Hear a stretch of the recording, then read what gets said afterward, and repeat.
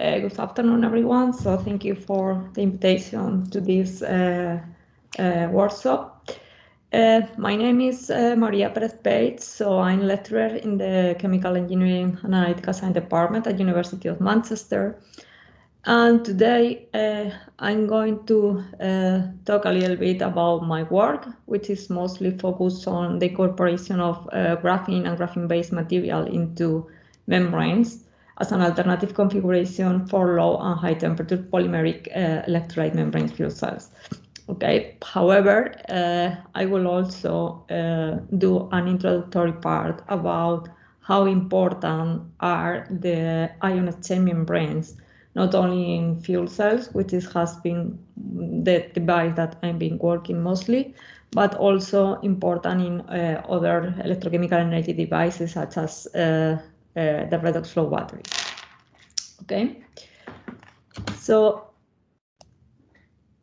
I would like to start by introduce a little bit what are the electrochemical energy devices. So I assume that uh, most of you already know what are that, what are uh, all of them, but I would like just uh, doing a brief reminder. Okay, so the electrochemical energy devices could be classified in three main categories. Okay, energy storage, energy conversion, and hydrogen production. From the energy storage, we will have the redox flow battery, the lithium batteries, and the supercapacitors. Okay. Then we have in the energy conversion the uh, fuel cells. Um, for the hydrogen production, we have the electrolyzer. So all of them, they have different applications. For example, the redox batteries will have an application more uh, to storage energy at larger scale and for stationary stations like in industry or domestic. The lithium uh, batteries and supercapacitors uh, are more focused on small devices such as laptops or um, uh, uh mobile phone mobiles, for example. And uh, also then the fuel cells that they are mostly working uh, for transportation and stationary places to produce energy. And finally, we have the hydrogen, the electrolysis that they are going to produce hydrogen by the electrolysis of water. So for all those electrochemical energy devices, although all of them, they need a separator between the uh, anode and the cathode, redox flow battery, fuel cells, and electrolyzers, all of them, they're gonna need as this separator and ion exchange membrane. Okay. So if we go to the description of an electrochemical energy devices, all of them, they have a similar configuration. They have two electrodes, anode and cathode, which correspond with a positive and a negative half cell. Then one of, one of the main roles that we will have on the membrane for that is that it has to be a separator between the positive and negative half cell okay, to avoid the short circuit between both electrons. Apart from that, the membrane needs to be a good ion conductivity, okay, uh, a good ion conductor to complete the current circuit by transferring ions. This high conductivity is required to minimize the losses in the voltage efficiency. However, also we need a good ion transport, we need as well a high ion selectivity. That means that the membrane should allow the transport of the desired ions, but at the same time must avoid the permeation of the redox active species. So that means that we need to allow the ions going from anode and cathode or cathode and anode, but at the same time, we need that the redox active species cannot go through the membrane. Okay, these redox active species uh, they are going to be different depending on the electrochemical energy devices that we are talking about. For example, we are talking about fuel cells, so these active species they're going to be the fuel, or if we are talking about vanadium uh, redox flow batteries, so it's going to be the vanadium ions, the ones that we want to avoid to travel between both anodes. Okay. So apart from that, uh, when we have the permeation of this species, of this active species from one side to another side, that will lead different problems on those devices that we will discuss later on the presentation, okay? But in general, all of them, they will provide a decrease in the performance of the devices. Another important properties of those membranes are the chemical uh, stability, for example. So in redox flow batteries, those device, those membranes, they are gonna operate it in a, a sulfuric acid environment. So this is a really a strong chemical and it's going to be oxidizing and we could damage this uh, uh, this membrane and also they will be uh, decrease the life of the battery. Other important things is like uh, high temperatures, so those uh, membranes should be uh, be resistant to some of temperatures, okay, some high temperatures. Not really high, but at some point, for example, in, in uh, fuel cells, we can work at temperatures around 100 Celsius degrees. So uh, that means that uh, we need those membranes be stable and those temperatures. So we have different three main types of ion exchange membranes, okay? The first of all that we have is the anion exchange membrane. Those membranes uh, have, they are positive charged okay, they have these positive uh, functional groups on their structure, and they're gonna allow the transport of the anions while rejecting the cations. Okay, so that membranes, they will allow that the anions uh, go through one side to another side of the, of the electrodes. Okay, and the application of those membranes, they are mostly on alkaline fuel cells and also they are they are using sometimes or as separator for vanadium uh, redox flow battery. Okay, as they has been uh, noticed that those membranes they uh, decrease the crossover of the vanadium. Since uh, those membranes are positively charged, so only the anions can pass through it through them. So the crossover of the positive charged vanadium ions will be decreased drastically. So the next uh, uh, the next type of membranes are the uh, amphoteric ion exchange membranes. Okay, these uh, membranes contain cationic and as well as anionic exchange groups. Okay, and uh, the advantage of this membrane is that you can use the composition and allows and control the ion exchange properties that we have.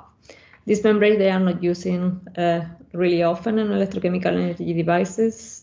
They has been tested uh, for some research group on vanadium redox flow batteries, but they are not quite popular yet on that. And finally, we have the cation exchange membranes. Okay, so this, the, these membranes, they are the most used in electrochemical energy devices more particularly the membranes that they allow the proton conductivity, so proton uh, exchange membranes. Okay, as this name says, it's like the they are membranes that allow the transport of the cations and reject the anions. Okay, and their application the most they are mostly application on the polymeric electrolyte membrane fuel cells. Okay, even high temperature or low temperature fuel cells polymeric electrolyte membranes and in electrolyzers and also in redox flow batteries. Here we have a table with uh, several uh, different uh, proton exchange membranes that we can use. You can find on different literature and you can, they have been using in different uh, fuel cells, high temperature fuel cells mostly. Uh, however, so far, even if uh, there are a lot of, of those membranes, the most popular proton exchange membrane that has been using in those technologies are Nafion and PBI. Okay, so far they are the ones that provide higher conductivity, proton conductivity, and higher conditions for those membranes, for those uh, electrochemical energy devices. So, so far, Nafion is uh, the most used proton exchange membrane because of its chemical stability and because it's an excellent proton conductor. Okay, it has a really good uh, proton uh, conductivity. Nafion it has been discovered by DuPont and has been using from uh, 1916s. Uh, okay, so this is the, the, the, the name of the brand. Okay, this is a button brand. So, uh, and this uh, polymer is a sulfonated fluorinated polymer with a copolymer molecular structure. So the polymer consists in a strong hydrophobic backbone and a regular space sorted perfluor vinyl ether side chains. And each of them terminated with a strong hydrophilic sulfonic acid group. So this membrane has the particularity that is uh, hydrophilic, hydrophilic and hydrophobic at the same time. So it has this backbone that is hydrophobic, but this part of the membrane makes the membrane hydrophilic. Okay, so Nafion shows a good phase separation between the hydrophilic and the hydrophobic phase, leading a very well interconnected hydrophilic phase due to the high flexibility of the uh, fluorocarbon backbone of the polymer. So that is the reason the fluorocarbon backbone is the reason uh, because this polymer is really uh, is an excellent chemical uh, has an excellent chemical stability. And the hydrophilic groups are the responsible for the proton conductivity by dissociation in contact with the protic and the polar solvent. Among a large of list of the commercial polymers, as I said, Nafion is the most uh, the highest good proton conductivity and has the highest chemical stability as well. So this is because uh, the main application is in low temperature PEM fuel cells and in redox flow batteries. Okay. However, uh, this this polymer also has some disadvantages. So the first of all is, as I, I said, we need uh, so this polymer depends on the hydrophilic part of the uh, of the molecule to conduct protons. So it needs to be humidified to conduct the protons. So that's gonna uh, provide as a limitation of the temperature for the fuel cells. Also has a crossover, so it's not really depending on the system that we are working and the fuels uh, sometimes allows the uh, active species uh, travel through it. Okay, so from anode side or cathode side and also it's really expensive material so far. So then let's go on to see how these disadvantages will affect us uh, in the different electrochemical energy devices. So the first limitation that uh, I said that this uh, membrane has is, the, is the limitation of the temperature. So what that means? So that means that this membrane, it will be a really good proton conductor, but if it has really, if it is uh, perfectly hydrated. Okay, so in the moment that this membrane is not going to be hydrated, so it's not going to conduct protons anymore. So this is a, a, limitation on the temperature because we cannot work at temperature larger than 100 Celsius degree. So the, and this problem is more specific for uh, lower temperature PEM fuel cells that they use hydrogen as a fuel. So what is the problem of that? If we cannot work at temperatures around 100 Celsius degrees, so more or less this the operation temperature of these uh, fuel cells are around 80 Celsius degree approximately. Okay, so but and then the problem, this limitation of the temperature, it will affect to the slow kinetic of the reaction okay, more particularly the, the oxygen reduction reaction. Why? Because we know that the kinetic of the reaction, it will depend of the temperature. So at larger temperature we are working, the kinetic of the reaction is better. But we are limited for that, so sometimes we have this limitation, particularly in this particular reaction inside of the, uh, the fuel cell. If we take a look to a theoretical uh, uh, polarization curve of, a fuel cell, So the polarization curve of a fuel cells is kind of the identity of the fuel cells. is going to tell us how good or how bad performs these fuel cells. So this problem that we have, this slow kinetic, we are going to affect to the first region of this polarization curve, that is the activation part of, is the activation region of the fuel cells, okay? But as I said, as I said, if we are working to smaller temperature to temperatures around 100 Celsius degrees, so we are going to have a membrane is going to be dehydrated. Okay, so that means that the proton conductivity of the membrane is not gonna is not working. Okay, so that means that we are gonna increase the resistance of the membranes. And as we are going to increase the resistance of the membranes, we are going to have also some losses in the ohmic region of the uh, polarization of the polarization curve of the fuel cell. So the way to solve it that is that we will need to hydrate the gases for uh, the fuel cells, either the hydrogen and also the oxygen as well. Okay, so that means that we have to add a new system, so we need to humidify those gases, so we need a humidifier as well for those uh, for those gases. That means that we are going to have a more complex system and also uh, more expensive. Okay. So the next problem that we have with this Nafion is, as I said, is the crossover. Okay. So for example, this crossover problem, it will affect more to uh, lower temperature fuel cells, but temperature that they are uh, that use uh, methanol as a fuel, so in direct methanol fuel cells. What this crossover is, so what is the what mean that crossover? So as I barely explained before, the crossover, in this case, the crossover of the methanol, is happen when we have some methanol from the anode side, where is where we have the uh, the methanol solution. This part of this methanol, it will migrate to the cathode side. Okay, so if we have this problem, what is going to happen? So first of all, it's like we will have less amount of methanol in the anode side. And then in the cathode side, we will have the oxygen to, uh, to produce its uh, own reaction, but we will have also some uh, methanol on this cathode side. So then we will have also a reaction of the methanol. So we will have two reactions. The one, the proper one in the cathode side that uh, depends on the oxygen, and also we have some reaction with the methanol as well. So that means that we are going to have low efficiency. Okay, this is really important in direct methanol fuel cells. We will have a loss of the voltage in this performance, and we will have a mixed potential for all those things that we have. So here we will have less methanol, so we have less product.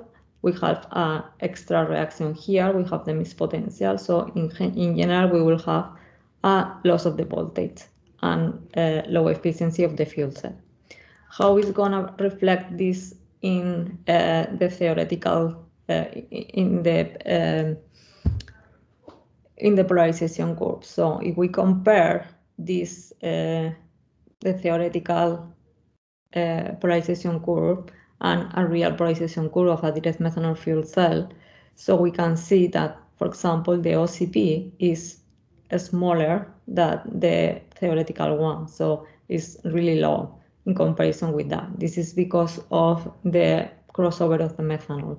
So as we have a lot of methanol that is going from the anode side to the cathode side, we have less methanol to react in the anode side. So that means that we have less OCP, okay?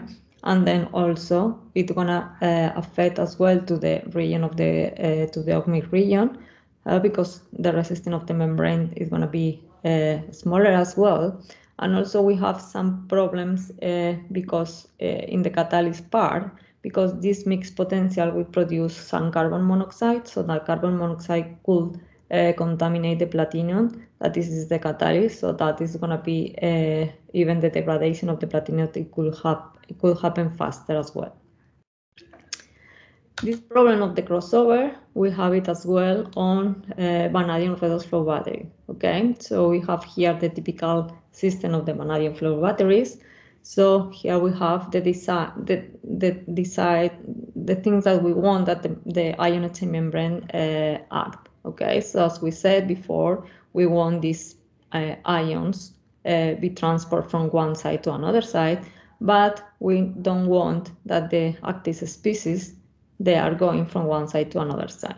So what is the problem of that? So for example, if we take a look to uh, a mm, general system of a, a vanadium redox flow batteries, that means is that uh, in the negative electrolyte, we will have uh, the reaction of the uh, vanadium 3 to vanadium 2, and here we will have the other uh, this this other reaction from vanadium 5 and vanadium 4.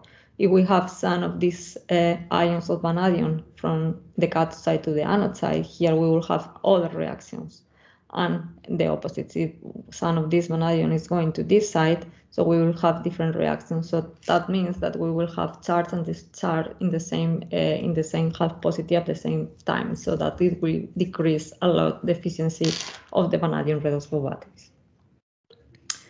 So as an alternative of this Nafion, the other most popular uh, uh, polymer is uh, PBI. Okay, the, uh, this PBI polymer uh, has also a good properties. Okay, it has a good mechanical resistance, high proton conductivity, good thermal stability, and doesn't need humidification. Okay, so this polymer it conduct protons in a different way than Nafion. But in order to conduct polymer to conduct protons, sorry, uh, it will need be doped with an acid. Okay, so the most typical one is the phosphoric acid. So we need to dope this polymer with phosphoric acid to complete the network of the hydrogen bond to conduct the proton. So that means that the PBI by itself is not gonna conduct any protons. So we will always need this phosphoric acid to conduct that, uh, to conduct the protons. So the conductivity of this membrane, they're gonna depend on how on, on the level of the doping that we have for this phosphoric acid. And with this uh, polymer, we can achieve temperatures around 120 or 150 Celsius degrees. Okay, so this is, uh, we use it as well on PEM fuel cells, uh, polymeric chain membrane fuel cells. And this is because we call high temperatures. So we know that in, in chemical engineering, uh, when we are talking about high temperature, it's like temperatures uh, around 8,000, 600, something like that. But so we call high temperature because it's like we can achieve temperature larger than uh, 100 Celsius degree. That is uh, the limitation of the temperature for Nafion. However, this uh, membrane also have problems in uh, in the high temperature fuel cells. Okay, because of the mechanisms of the of the proton conductivity, the phosphoric acid can be leached from uh, the catalyst layer when the temperatures are lower than 100 Celsius degree, for example, because this phosphoric acid could be uh, could be dissolved in the water that is produced on the cathode side. But when we are working at higher temperature, also we will have a higher significance of the leaching of the phosphoric acid. And also it will happen more when the fuel cell is working for a long time. So what is the problem of this leaching of phosphoric acid? So that means that if the phosphoric acid is leaving the membrane, it could take some catalyst and we can and this catalyst could be uh, disappear from the catalyst layer. So then we are gonna we will have different problems. On one side, we are gonna decrease the conductivity of the membrane because it's gonna depend on the phosphoric acid, and if we have less phosphoric acid on the membrane, we don't have this conductivity and also because the catalysis migrate uh, from uh, the uh, from the catalyst layer to the microporous layer, so the reaction is gonna decrease the efficiency. The other important problem is like if we got a, a, lot of phosphoric acid on the gas diffusion layer, we will increase the mass the mass transport resistance as well. Okay. So with all those problems that I mentioned, so we are looking for some strategies to improve these ion exchange membranes. In the first part, we're looking for uh, different Nafion configurations. Why Nafion? Because as I mentioned, so far the Nafion is the, uh, the best uh, proton conductor membrane that we can find in the market. So a lot of strategies they are following in order to, uh, to uh, develop different configurations of Nafion how we can do different Nafion configurations. So for example, one idea is like uh, add a barrier material on the uh, surface of the Nafion, for example. So here it will be the typical uh, uh, cell. Okay, so where it could, for example, if we're looking for the methanol, uh, as I said before, so it, the methanol crossover, So this one you can go from the methanol could uh, uh, could be migrated from this side of the fuel cells to the other side of the membrane. So the idea is like a stop like at a barrier here before the membrane. Okay. So for example, one idea is could add some material here that it will act as a barrier. So this material, there could be some material that's gonna affect the proton conductivity, okay? And for example, the most typical that we are using that are um, for, uh, zeolite, for example, mordenite. So this way, this barrier could reject the methanol, but at the same time, the protons can go uh, through the through the membrane. Another idea of different configurations could be uh, another different configurations of Nafion could be adding different structure of membranes. For example, uh, this work that we developed, so we tested different ways of uh, how uh, add different um, different layers of Nafion to achieve the same thickness of a Nafion 115.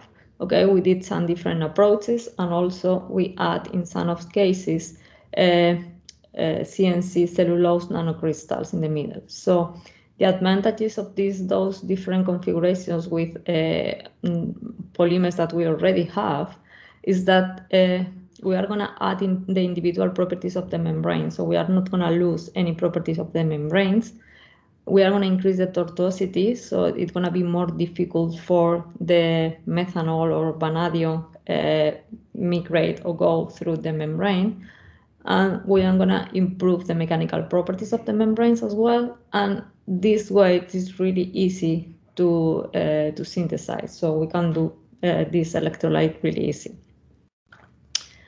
So for example, for this membrane, for this paper, this, work that we did, we found out that the best uh, configuration that we had was when we put together a layer of the Nafion 211. In the middle, uh, we spray this uh, carbon cellulose, and then we add two layers of Nafion 212.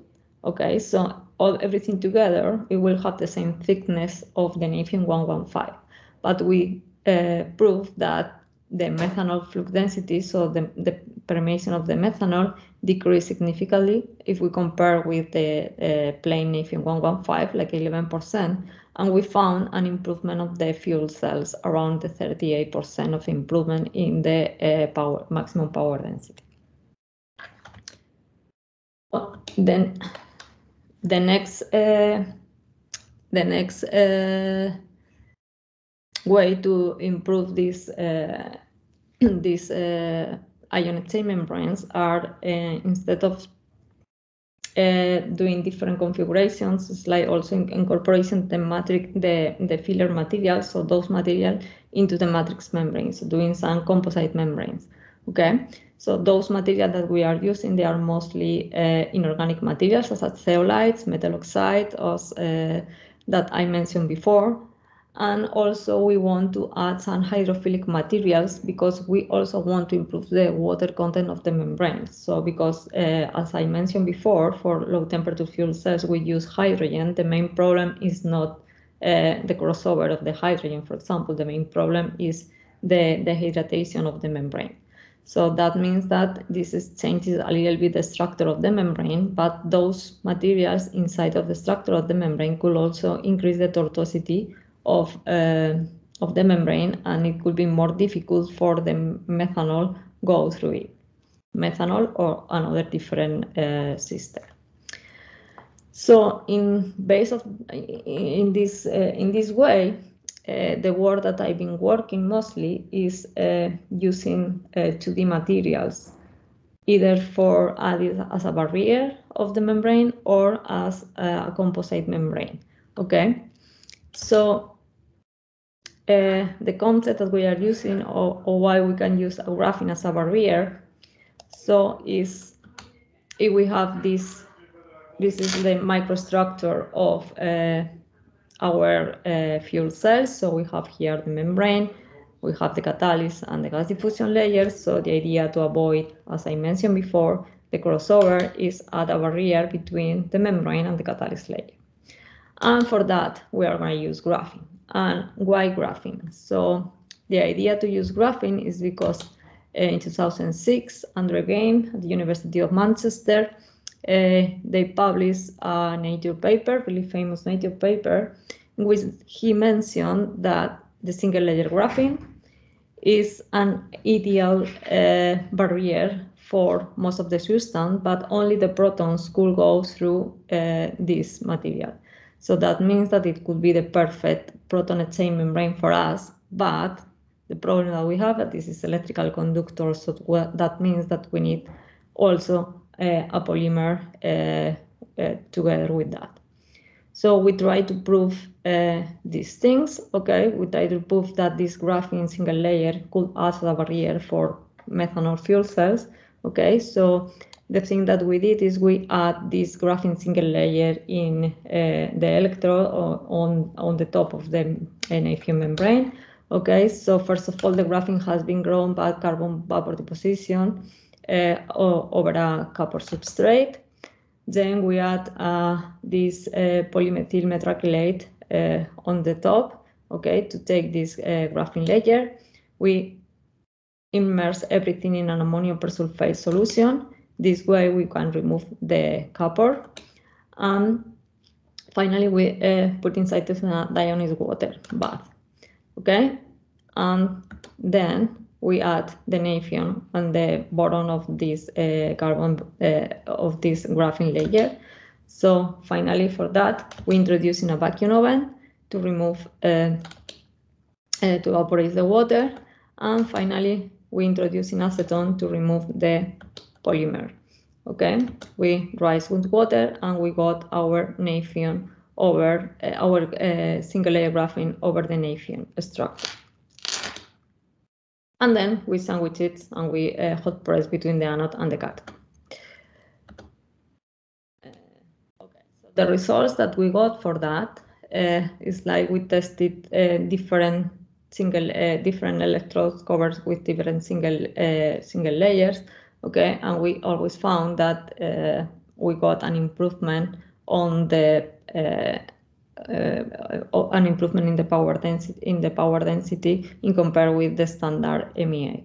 Okay, so this difference between sample A and sample B is because uh, either when we are doing the transfer, not always we got a perfect transfer, so always we have some defects. So that means that it's important to control the transfer of our uh, of our graphene and so we can find that because the, uh, with the impedance that we didn't have any important changes on the proton conductivity of those uh, of those uh, membranes. So the proton conductivity is more or less the same for the three samples. So for that also we tried different coverage as I mentioned because everything is uh, is important the, the the coverage of the of the electrode or the membrane and we found that uh, as we have more coverage on our system, the power, the maximum power density increase, and at the same time, the methanol permeability decrease with the increasing of the uh, of the coverage of our reactor. So then we also try, as I mentioned, the problem that we have with uh, the uh, with the high temperature fuel cells are the phosphoric acid leaching. So we did in collaboration with UCL, we are trying to uh, characterize how this uh, phosphoric acid leaching happen using uh, tomography. Okay, so here we can see uh, the uh, how the different layers that we can find in our MEA. Okay, and how the phosphoric acid is distributed around our MEA. Okay, so for that,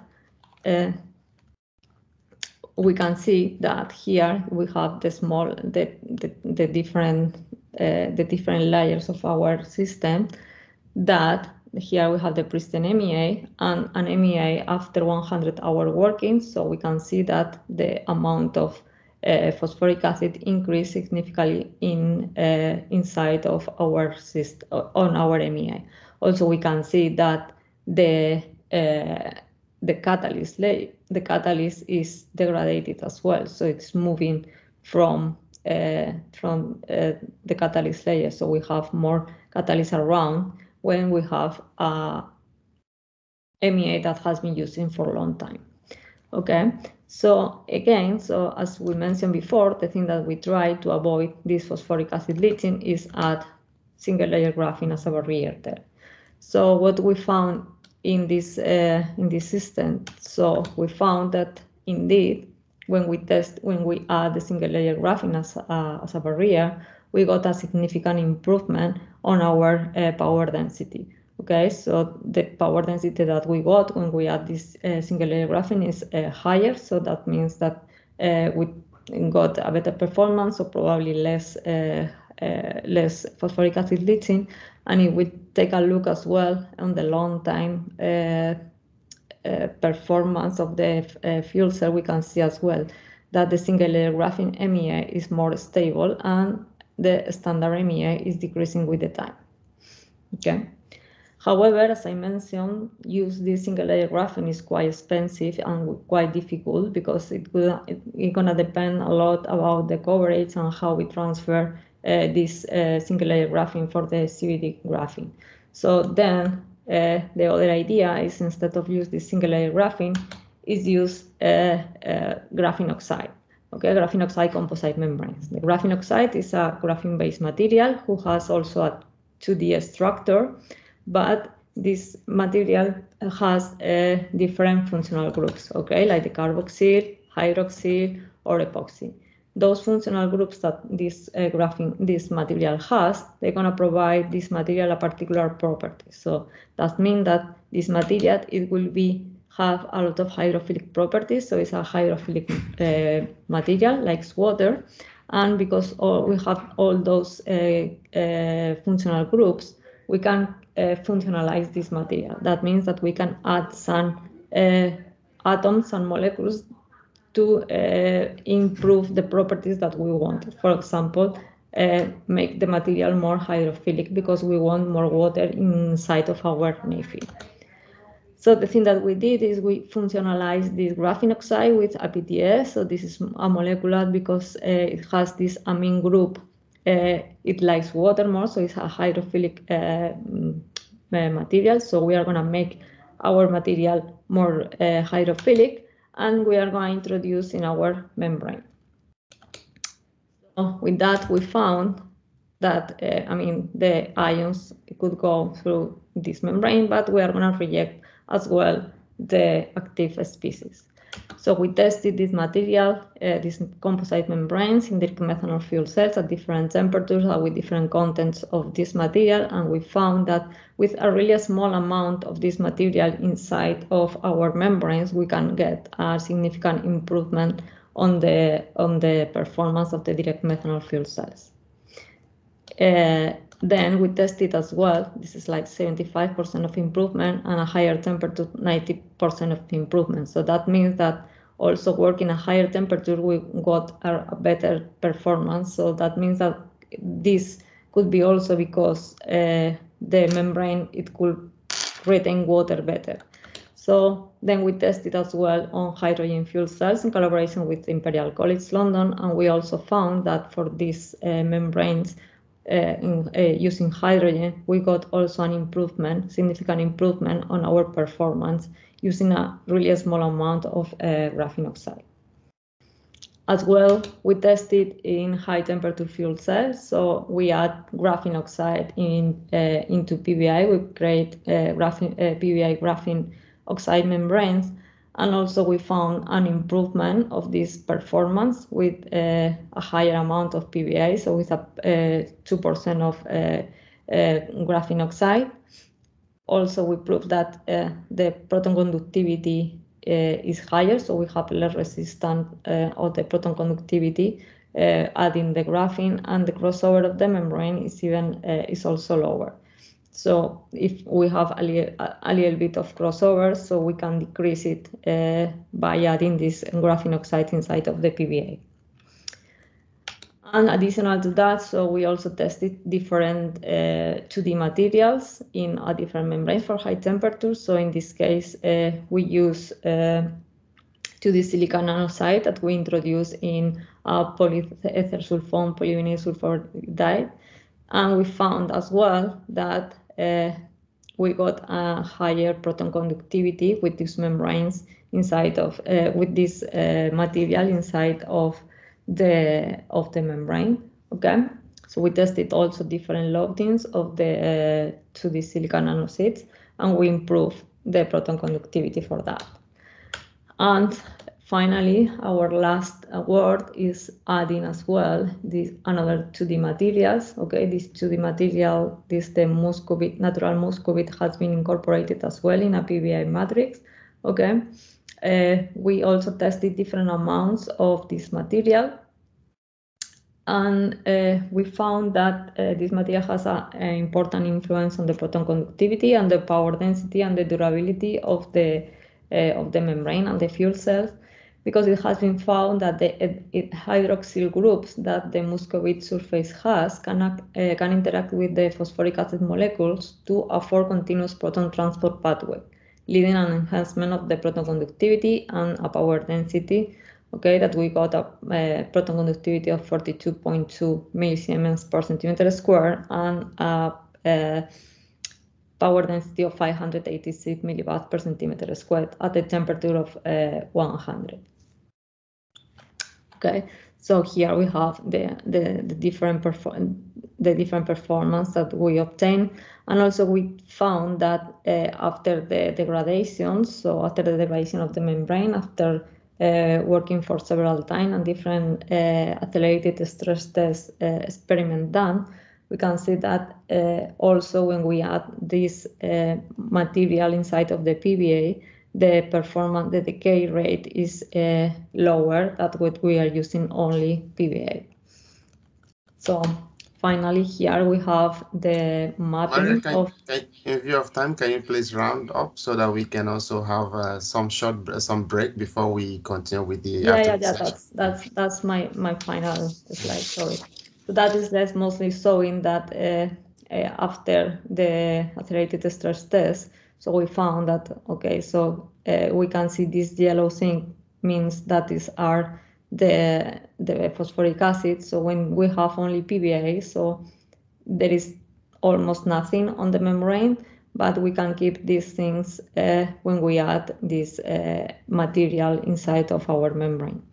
So we can keep the, the phosphoric acid on the membrane when we add this material inside of the on the membrane. So that is uh, everything. So uh, thank you all of you for your attention. I'm happy to answer any question that you could have.